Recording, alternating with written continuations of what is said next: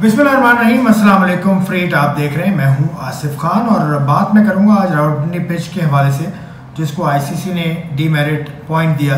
आ, तो इसके बाद अब क्या होगा और इससे पहले क्या हो चुका है वो मैं आपके सामने आज पेश करूँगा।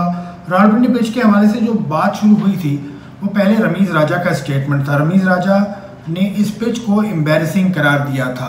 जहाँ पर रिकॉर्ड्स बने और यहाँ पर रिकॉर्ड्स मतलब बहुत बड़ा स्कोर हुआ पहले दिन। और उसके बाद यू नो यहाँ सेंचुरीज भी बनी बहुत सारे रिकॉर्ड्स टूटे। तो ये पिच को रमीज राजा ने एम्बेरसिंग कहा। उसको एंडी पाइक्रॉप जो मैच रेफरी हैं उन्होंने इंडोर्स किया और उन्होंने कहा कि ये पिच इस काबिल नहीं थी कि यहाँ पर टेस्ट मैच क्रिकेट हो। बिलो एवरेज आईसीसी ने उसको करार दिया आईसीसी की मैच रेफरी की रिपोर्ट जो आज आई। अब क्या होगा? आ, क्या होता है इस हवाले से?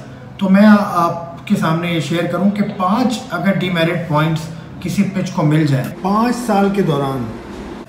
तो वो फिर एक साल के लिए कम अज़ कम एक साल के लिए कोई इंटरनेशनल मैच होस्ट नहीं कर सकता वो वेन्यू ये है आईसीसी का लॉ कि पाँच डीमेरिट पॉइंट हो जाएँ तो फिर वेन्यू सस्पेंड हो जाता है for a year to host an international event international cricket game तो इस पिच के हवाले से क्या है? ये पिच इससे पहले ऑस्ट्रेलिया के जो टेस्ट मैच खेला था पाकिस्तान ने यहाँ, वो मैं आपको याद कराऊँ, उस वक्त भी डीमेरिट पॉइंट इस पिच को दिया गया था।